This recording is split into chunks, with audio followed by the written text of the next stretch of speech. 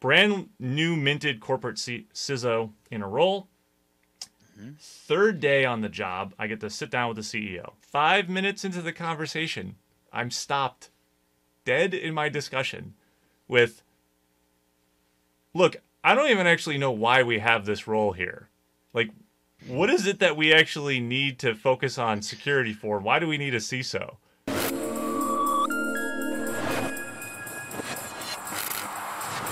Got to stay positive in this stuff, right? You can't you can't get negative. It's like the role of the CISO. You- have to be un, like just uncharacteristically optimistic about what's going to happen because your job is to just deal with bad, right? Yep.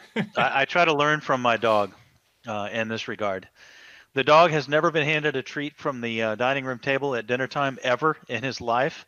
But every night, that doesn't stop him from coming up, sitting down, making puppy eyes, wagging his tail, and hoping for the best. He's still trying. That's good. He is a perennial optimist, and uh, you know, yeah, that's that's how we should all be, right? Yeah, Just because we didn't get the treat today, we might get it tomorrow. right? Keep shooting for it. Keep going.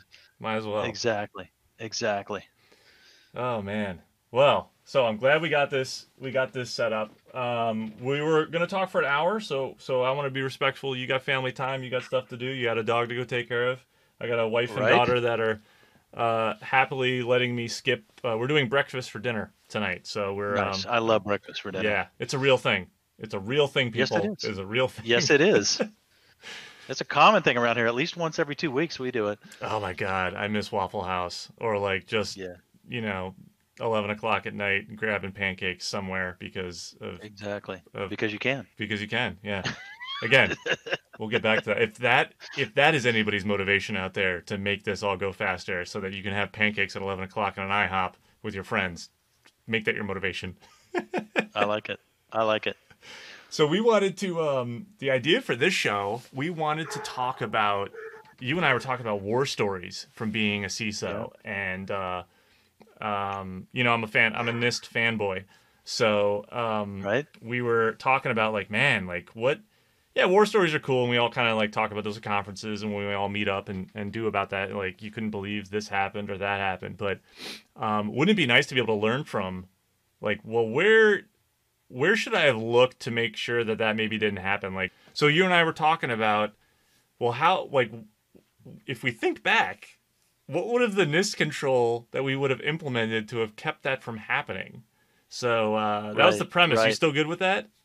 I'm still good with that. I was, you know, I was thinking of it in terms of like NIST controls I've attempted to implement, and then something got in the way, right? Some Right. lesson learned that it's like, oh, okay. But uh, yeah, I, I think it's I think it's the right focus. I think I think CSF is a brilliant framework, and I'm, I don't think I'm quite the CSF fanboy you are, because I, I live in ISO land quite a lot too. Um, Nothing wrong but with that. uh, but at, but at the end of the day, at the end of the day, you know, we have to have frameworks. We have to have sets of controls. We have to have some sort of paradigm and operating model. And what I love best about CSF is that you know people see it as this linear list of you know spreadsheet columns, you know, rows one through 100 or whatever, 180 total 100 controls. 108. 108. Used there to we be go. 98 up until last year, and now it's Right. 108. Yeah, yeah. One dot one. It's 108 now. Yeah. Shout out to Um, Ron, shout out to Ron Ross and the good people at NIST. Ron, thank you. You and the entire team. Keep up the good work. Hey, two thumbs up here for real. Two thumbs up. This is uh, the NIST is so valuable. And the one thing I always like to remind people is even though you read it as a spreadsheet rows one to 108, Hmm. um, the important thing to remember is it's a cycle. It's a process. It's not an. It's not something that ends. It's not finite. You don't punch through all 108 and clap your hands and walk away and go get your next CISO job. It doesn't work that way. No. Um, and so iterating through it and learning how to iterate through it more effectively, learning how to walk the iterations with the business in partnership with the business, I think is one of the single biggest challenges we face. And and I think CSF, you know, grab grab whatever framework you like. Well, tonight we're talking about CSF. The biggest challenges I've had with NIST and the biggest failings I've had as a CISO, the biggest lessons learned I've had as a CISO have not been anything intrinsic to the framework itself, but have been intrinsic to the process of integration with the business. Right. Oh, uh, every time you read a control, you have to have that. Well, how does this apply to the business? Because if you're only Mm-hmm. applying NIST or any NIST control set to an IT centric, cybersecurity siloed version of how you're supposed to do something, you're totally missing the picture of how it's supposed to operate and go across. And my view is you bubble it up to risk management, right? It's like the business risk management at the high level, and then you use the NIST to bring forward and bring Mm-hmm. up the cyber controls that are going to be meaning. They're going to create meaningful conversations with the business later on, or exactly during it, whatever. exactly is. and and one of the biggest failings i think in, in interpretation of nist is everyone looks at id-be and and thinks like oh that's the containment for that paradigm right there like oh it's all neatly contained in the be section no no no no no it's an overlay for the whole shooting match Yep. you better have be done you better understand everything in id-be um, you better understand all that but but it's an overlay that that has to be there for every step of the process every every control all 108 Yep. um, you, you need to have that business focus in mind and, and i like i like your model. I think i think i've seen a, a variety of, of models in that regard but in my mind you know business terms come first risk terms come second cyber terms come third That's right? good way. I start like with that. an awareness of the business. Start with an awareness of the business. Start with what the heck is the business mission? And this is what be gets to is how does what i'm trying to do here under these controls how does this tie into and fit the greater business? What is the greater business? What the heck is our mission as an organization? What are we even doing here on planet earth? Mhm. okay let's understand that deeply and fundamentally. Then let's understand risk from a business perspective and then let's bring in cyber. And if you treat it that way and put yourself third in line basically as the ciso um, you know third third in line in the sense that that business is first risk is second you're third um, that's really the only healthy approach I think we can take. And I think any CISO who comes with a cyber forward argument to the business is going to ultimately be met with failure of some kind. Uh, either his message won't be received, Mhm. uh, he'll he'll prioritize the wrong things, and in the long run, the bad thing will happen uh, around what he built. Um, there's there's a number of reasons that can fail, but I really think that's the model. Yeah, yeah. It's it's it's amazing how many of us miss that point and still push forward thinking that we're gonna change it. Because what's the mm-hmm. old? It's like the old adage like security doesn't exist because of the or the business doesn't exist because of security, right? Security exists for the business. Like we're not there for the reason. And I know a lot of us think we're cool, or the coolest guy walking in the room, because we understand the magic that is cybersecurity that a lot of people look at, but we're not there just to be there. We're there because of the larger picture, the goal of the organization. Um, you know, and this is um this is a, a, a thing that my dad taught me early on, um, working in insurance. Uh, he he came out of that space was like a, a business's role and job is to m- make money. Like no matter how you look at it, that is its goal. There's altruistic versions and and good natured stuff, all fine. I get that. But if if the goal of the business is to not make money, it's not going to be a very successful business. So if a CISO doesn't recognize that that's why they're there to support that mission ultimately, and then all the other ancillary nice to haves, because they are kind of nice to haves, then they're going to, I think they're going to fail in the role that they're charged with in protecting the, you know, the, the company as a whole. Um, Yep. And I might be wrong. I, I don't know. You sound like you're agreeing with me, but like I've definitely have some people who are like, oh, you're you're looking at it like kind of way too.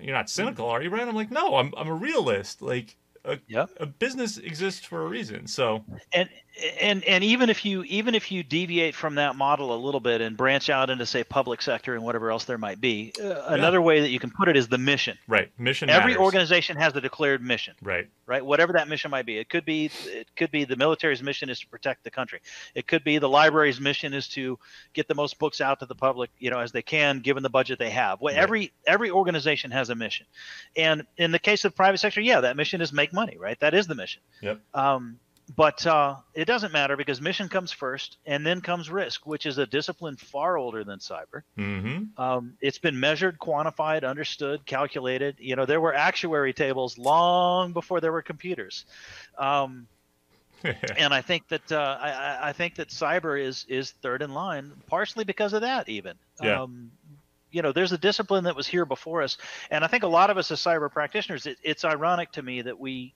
we frequently complain you know, um, there's there's a great analogy out there, and I can't remember who gets credit for it, but it's it's gone around so many times at this point. I think it's kind of public domain. The idea that uh, uh, uh, being a CISO is the same thing as uh, being an accountant before general accounting practices were invented, right? Being a Yeah. CFO before general accounting practices were invented.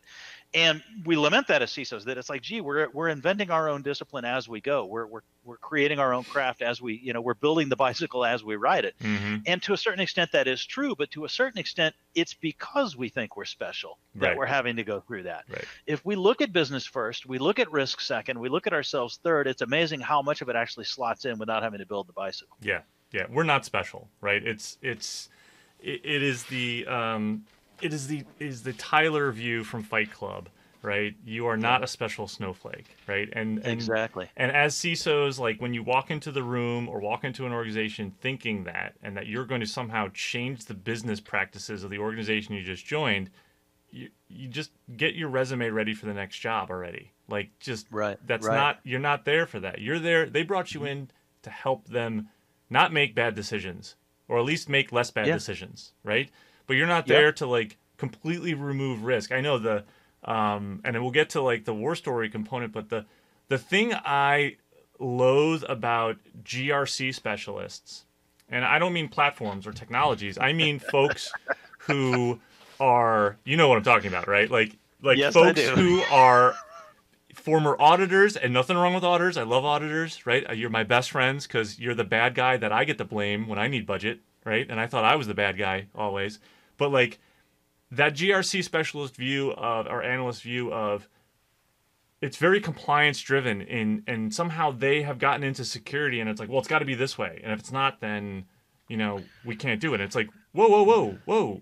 Risk management. Like you're allowed to understand and accept risk. In fact, you're not even supposed to do that.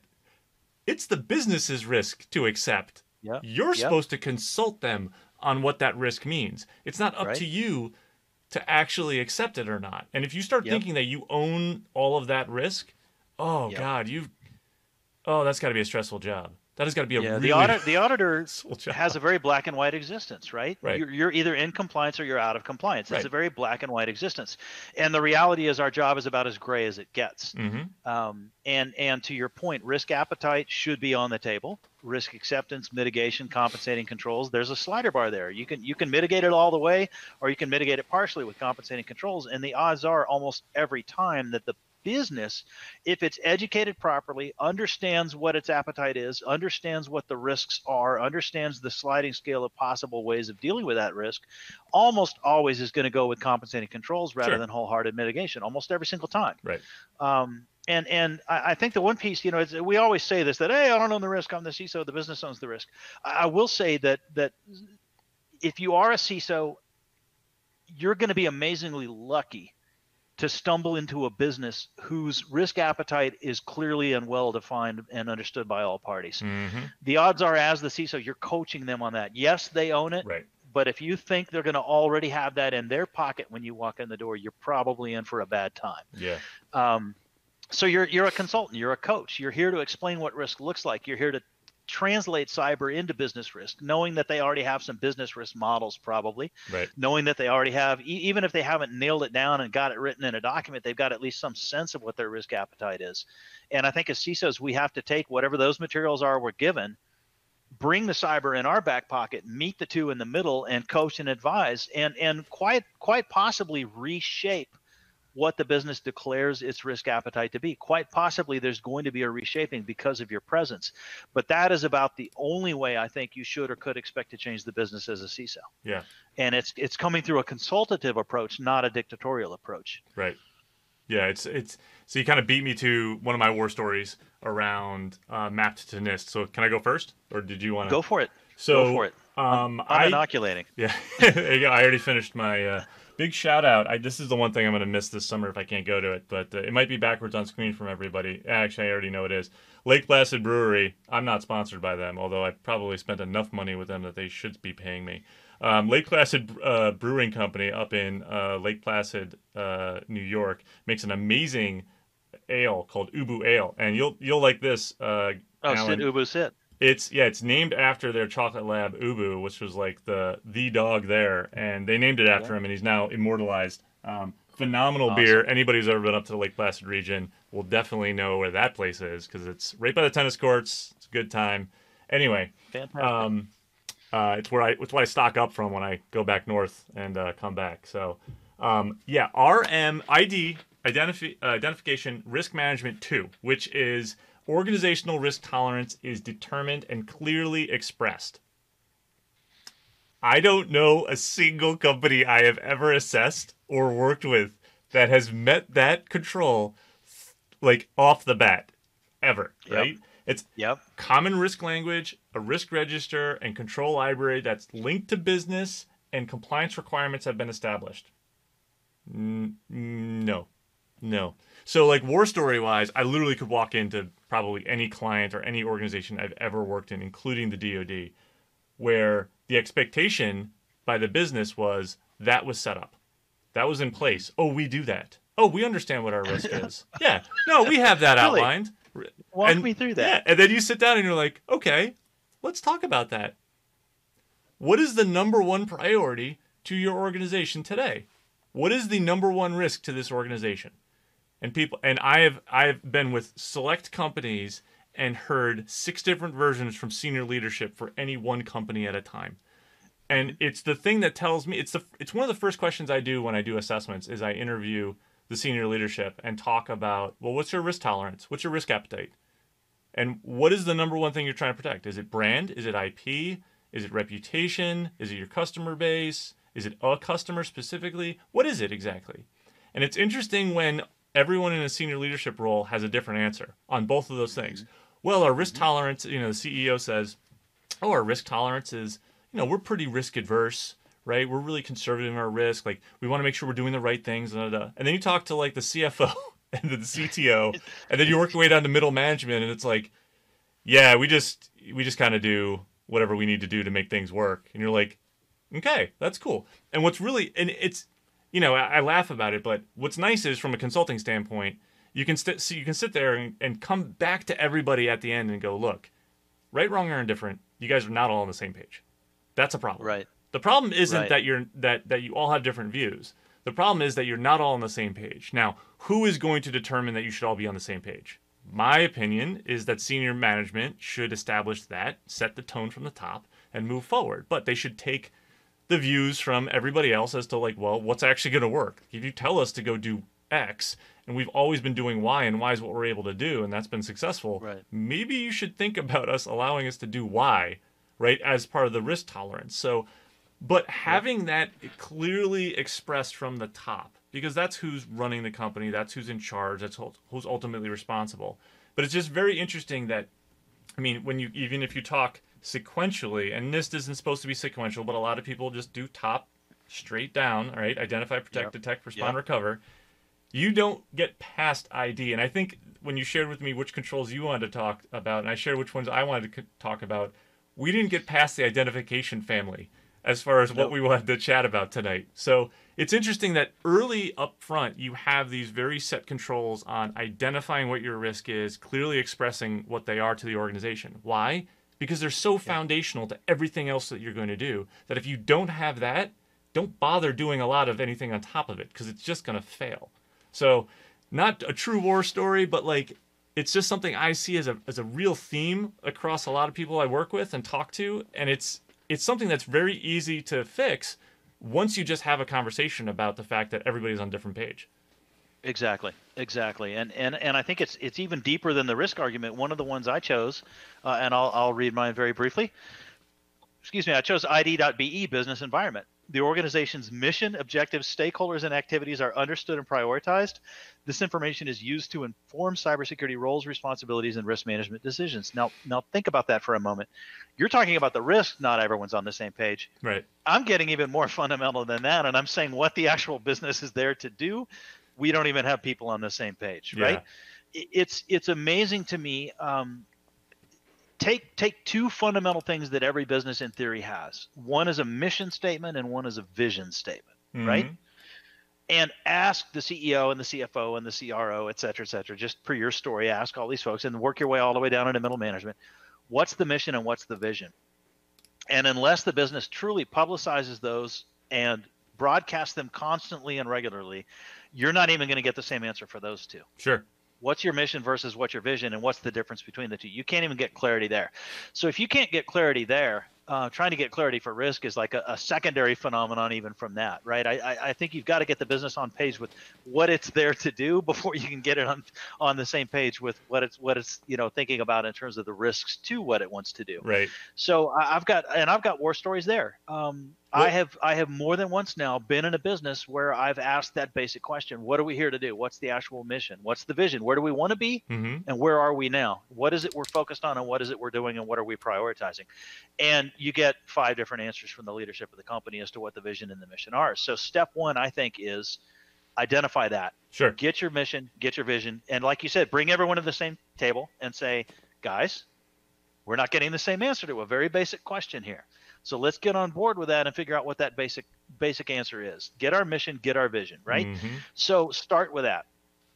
Then from there, I think we get into what you talked about. Let's talk about how the risk program now actually feeds and informs that. Right. Because because the the business mission is what's being impacted when we talk about any kind of risk. Sure. A risk is a risk to the business mission. So start with BE, move into RM, uh, and then from there, very quickly, I think AM has to happen next, and that's of course my other war story. I've got some tales I can share about uh, asset management, but I think I think understanding the business mission first, understanding the risk to that mission second, and then understanding the assets and how they actually fulfill right. that business mission, so that you can speak to them in terms of risk, is is third. I like, I like that. Asset management's always my. Uh one of my favorite, right? Critical security control number one and two. It's right. the earliest control set inside of NIST CSF. I, I my go-to saying is always, "I can't defend what I don't know exists." Right. So it's like yep. you, you you have to do that, and that translates to people. So my other my other control, and I'll I'll share this is actually two. It's IDAM six, which is mm-hmm. cybersecurity roles and responsibilities for the entire workforce and third-party stakeholders, yes. right, are established. Yes. Now, what we did see come out with, uh, "Hey, what's up, Rich Mason? Uh, thanks for chiming in," and Chris Carter, uh, definitely a good paraphrase of Mike Wilkes, right, from uh, ASCAP, right. We're not in the business of deploying security; we're in the business of securing the business. Uh, if I paraphrase yep. that right, um, the uh, the ID A, uh, AM, right? The what came out with NIST CSF now, right? Version 1.1, the introduction of the entire third, the new third-party controls, right? Because they went from 98, they added 10 controls. There's five of those controls, I think, if I remember correctly, five or six of those controls squarely on supply chain.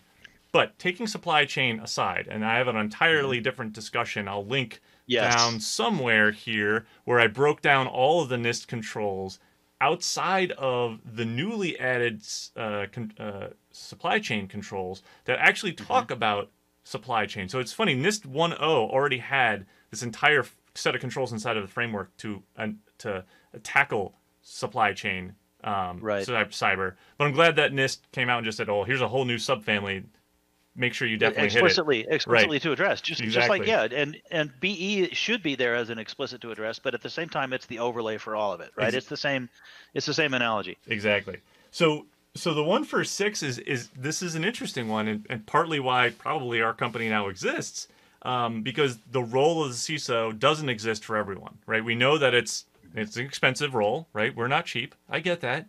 But cyber doesn't change as far as the impact and the need as you go downstream to smaller and smaller companies. Now, why I find that really interesting is not because this war story is from a smaller company, but from a much larger organization, somewhere in the Fortune 500. Um, being a NIST guy, I was hired being a NIST guy, knew full well what I was lined up for as far as what I wanted to do as far as bringing that framework to an organization inside of the, the, the top Fortune uh, space brand new minted corporate C- CISO in a role.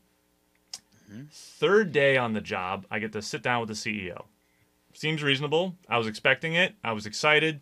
I get to sit down and chat with uh, chat with the CEO about the expectations. Wanted to take him through my thoughts initially, get his thoughts on on how things were going to go. Um, the role, the responsibility of the CISO, the embracement now of security as it was kind of new to the organization at the time with the role being established. Yep. Um, and lo and behold, five minutes into the conversation, I'm stopped dead in my discussion with look, I don't even actually know why we have this role here. Like, what is it that we actually need to focus on security for? Why do we need a CISO? And I'm sitting there like, I just sold Didn't my house You just hire and me. moved here. like, like, are you kidding me? But the CEO was so disconnected from probably the business needs and the demands that the board, executive leadership had seen because he wasn't the one who hired me. It was the board's pressure on Right, another gentleman right. who hired me rightfully. Mhm. And I applaud them for that. And it was interesting to see how much longer that CEO was actually with the organization. Something like three more months.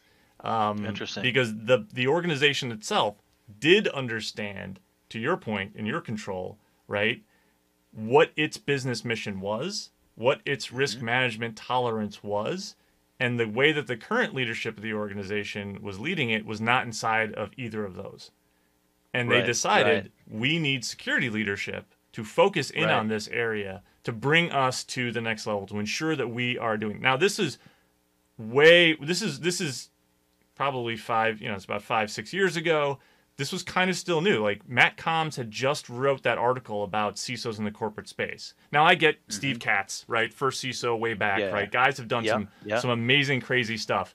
But but now in like then it still wasn't fully embraced by I think a lot of organizations. Now you've been around, you know, doing this, right? You and, and, and a lot of other guys that I've looked up to and read about for a long, long time. But I don't think it trickled down to like the rest of like the Fortune 1000 that they needed to like Yeah. have this role. So it was interesting to kind of see that all shape up and that was like and that was the view and then after the fact kind of like after he left and new ceo came in and took the company in a, in a brand in a, in a great direction right they did great um, it was really evident to me why that conversation took place then and why that mm-hmm. thinking was.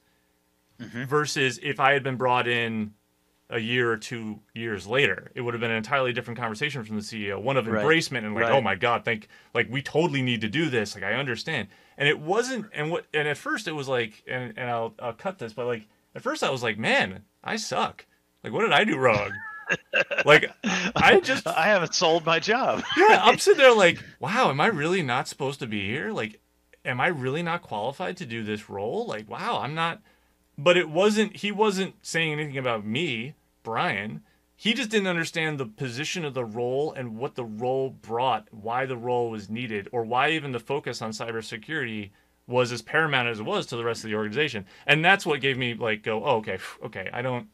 I don't suck at life. Like, all right, it's Right, it's right. like that gave me some solace, but it was just After a brief visit with imposter syndrome, you return to your job. Oh yeah, I mean we I, we all go through that, but it was it was interesting. I kind of always go back to that, especially when I talk to people when they're like, "Well, I don't know if I need this or not," and I always think back to that moment when I'm like, "You're gonna probably change your tune at some point where you're gonna go, I do need this. How do I make Yeah. you see why this control, right, uh, AM6 is." Is something that you need to focus in on, making sure that you actually have the roles and responsibilities established. Because I don't think cybersecurity is going away anytime soon. Nope. Nope. Anyway, Yeah, I, and I've I've learned to play the what if game a lot upstairs, and I, and I've got a similar story to yours. It wasn't a CEO; it was a private equity buyout. Um, similar sort of situation where, hey, do we even need this anymore? It's kind of expensive. We're looking at the books. You know, Right. CISOs look expensive. Um, and, and and you end up having to ultimately play, in my mind, the what if game. You know, what you know, you start with a what. What is the most valuable to you? Again, back to BE. They better know BE. Mhm. Hopefully, they know BE. If you're talking to the CEO, even if no one else in the company has the same vision he does, he's got a vision in his back pocket. yeah, I know what my BE is. Okay, talk to me about that. Now we're going to play the what if game. What if the bad things happens and you can't make the revenue through this one client? Oh, what if that client's sensitive information is leaked mm-hmm. and you lose that client? right, What if? What if? What if? What if? What if? And you walk them through all the what ifs. And this isn't the same thing as, as fear mongering, right? We talk all the time as, Yeah. as good CISOs. We shouldn't be using FUD, right? We should be playing the what if game. That that is our job is the what if game. I, I wake up every morning and think about what if and, and how do I tackle the what if, Right. right? That's what I do for a living. And that's what you want to get the CEO on board with you and doing, or the board or whom, whoever it might be that's the obstacle in this case. And you so you, you have to start with that business mission awareness and once you've got that in hand you can start talking about all the bad things that can happen to disrupt derail sidetrack marginalize or reduce that business mission Mm-hmm. and you bring those stories to bear and then you say this is what i'm here for we're going to work through all these possible bad situations. Right. we're going to go through them together. I'm going to bring you guys guidance and suggestions. Uh, you guys are going to decide whether my advice is worth the risk right? I mean at the end of the day it's really it's a value proposition. At the end of the day give me $10000 and i'll fix this $2000 risk is not going to be a story that sells. Right. but give me $2000 and i'll fix your $10000 risk is a story that's going to sell. Yep.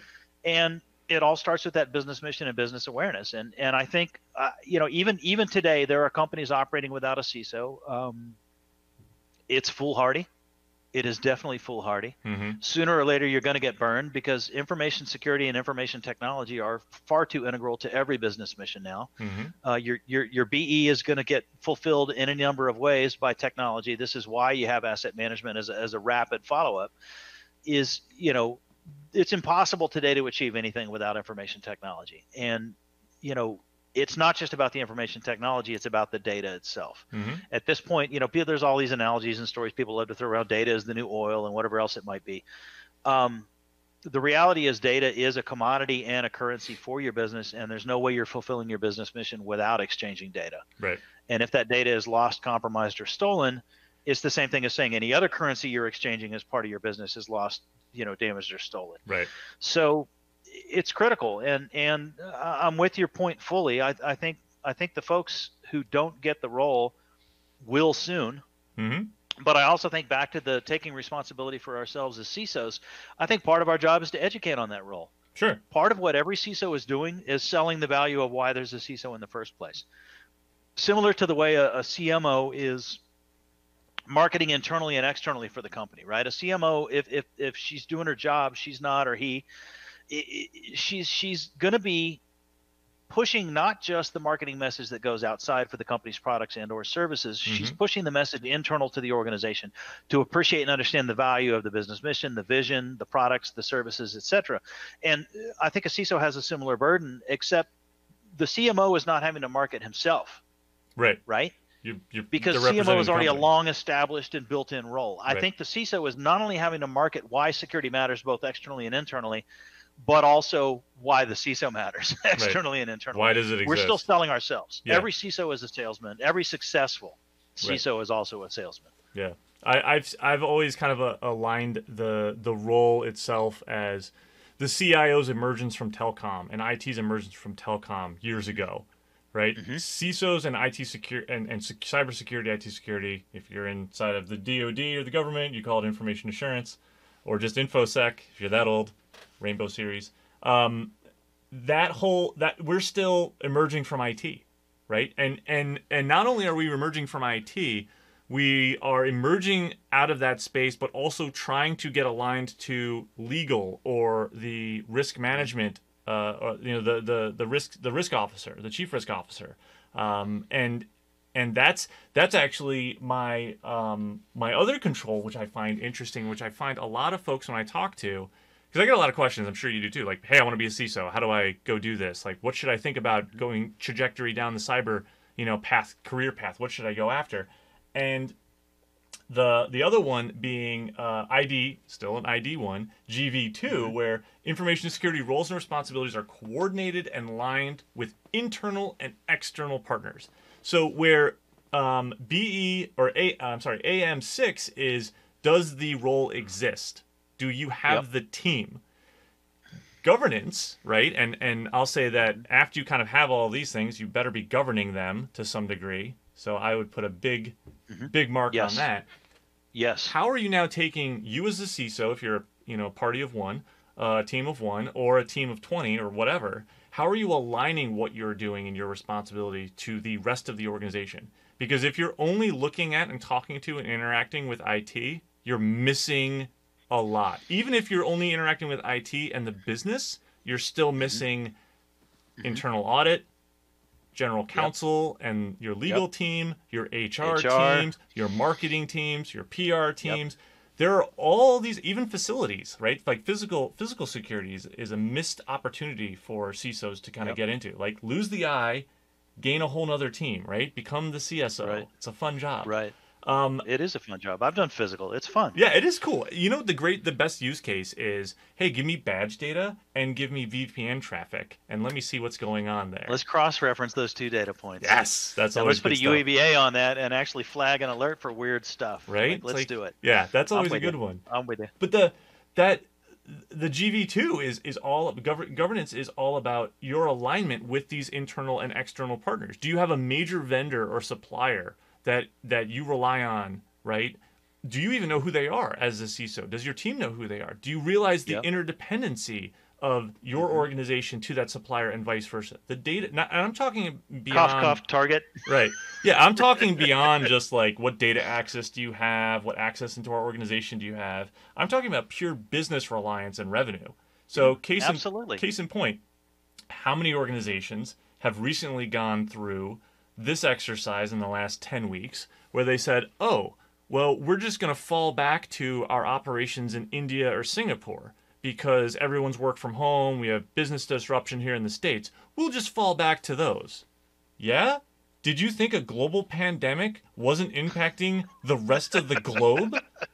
Like, Hmm. Singapore and India aren't exactly in the best position right now, but neither is the US. Everybody's Right. in this together. So, Right. How aligned are you to your external partners? And I, I just I find that that's one that's like clearly missed, and that's an that's Yeah. a it's an Yeah. easy win for a CISO and a security team to just embrace because now you've created another ally, right? Even if it's Yep. external, but internal. Like when you got to, we all get called to Yep. the boardroom and we got to talk about the bad stuff and the good stuff.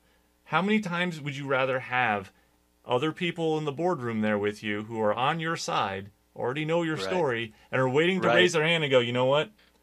What he's asking for, she's asking for, we should approve that in the budget because that is Yep. going to address the risk that that person talked about, that person talked about, that thing that I've been talking about for three years.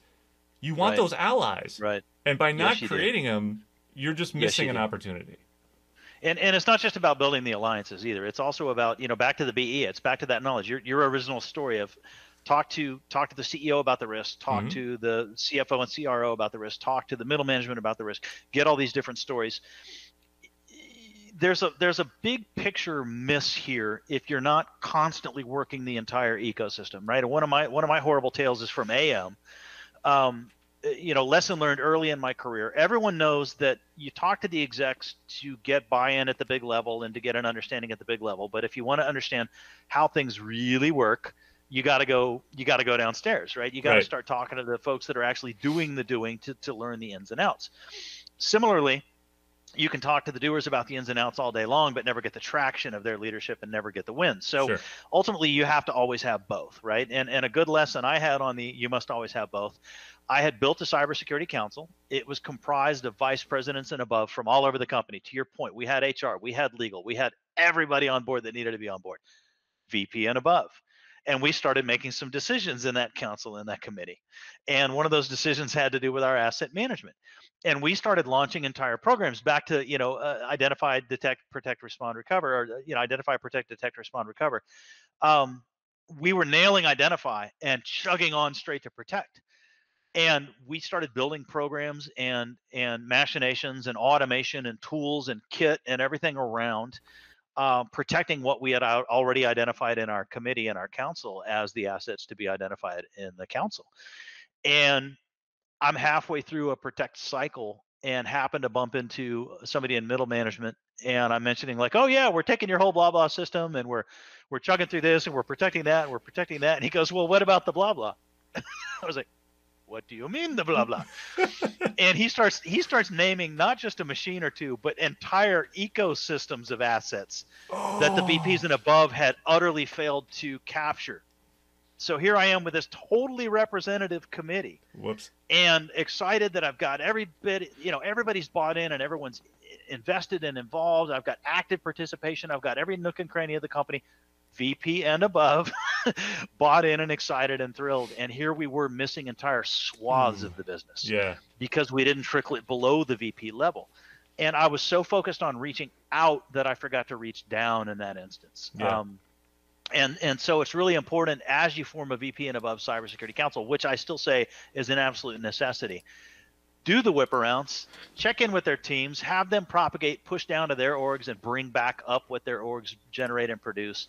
Don't rely on the leadership of the company to know the details of the company. Like, like never fall for that trap. Some Yeah. of them may be very confident, uh, but that doesn't mean they actually truly know every system that's out there.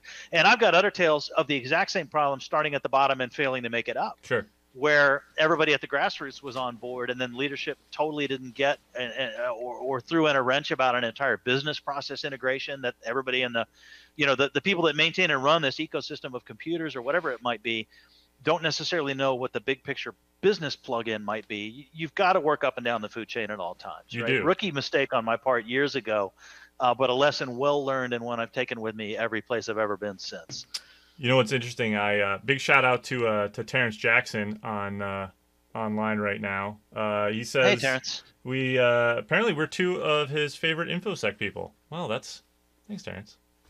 Um, and Sean and Rich Mason, right? Oh, the living legend, Rich Mason chimed in on uh, Risk, risk Coach.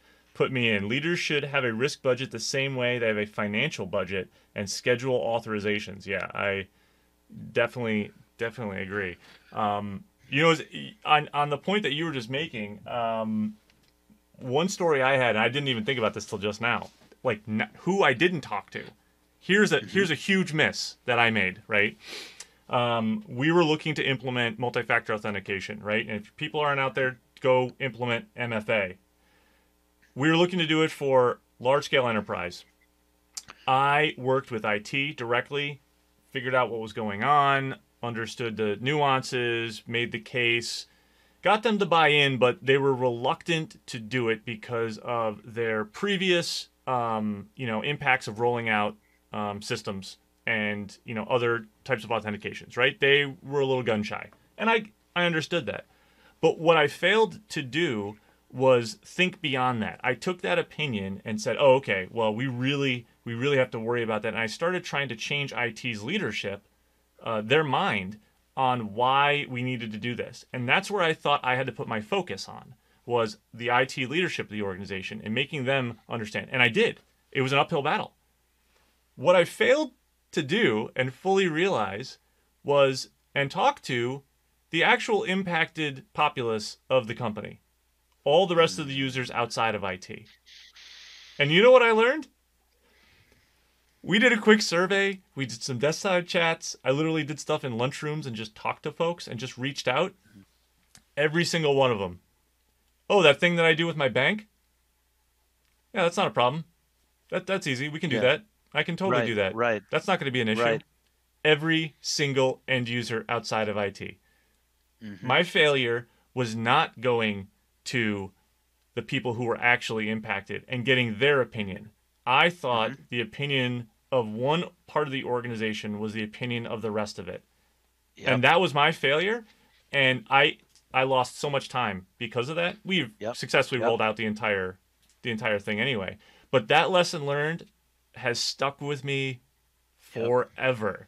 Um, up down and out Just- right every com every input stream every output stream up down and out up, Listen down and to out, your up, down and out yeah and uh you have to you have to bring them all in. You have to. And and and it's amazing too even on a departmental basis how many different stories you'll get. Right. you'll you'll find like you said like the entire IT organization feels one way about it and you'll go talk to HR and they've got a completely different opinion hmm positive or negative. That that can go either either direction right? And and so you have to you have to do the full whip around. You have to. Right, right. Yeah, you got to don't stop. I think that's what I learned was like don't like Yep. once you just keep going for I used to have one thing, I don't know if you've ever done this, but like I I always had fun. Um I used to make a point to eat lunch with the DBAs. And um Yes. back in the D, back in the DoD, it was uh, I made a point to not just eat lunch with the DBAs, but the storage admins because I had a, a a nice long, very prosperous stint as a, uh storage admin inside the DoD. And you want to talk about the people who know where everything is in an organization. Mhm. Ask the DBA. Those people, they, they should be paid twice what they are. They're probably the ones Yeah. who will be working Yeah. on Friday night, restoring the entire business to what it what it was. Right? Right. It's not it's not your sales guys. It's them. But learning from them and asking them because they see just about everything, that Mhm. is an insight that is oh, it's worth its weight in gold. Yep. Um, Yep.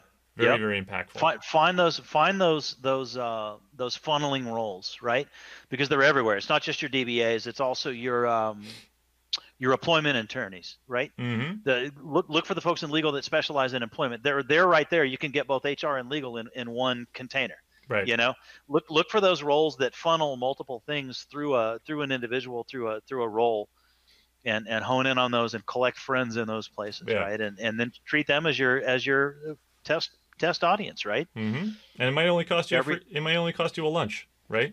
Exactly. Or- or a exactly. cookie. Bring, yep. Bring them in. Bring them in. Feed them pizza. Get their opinions before you even start to roll out.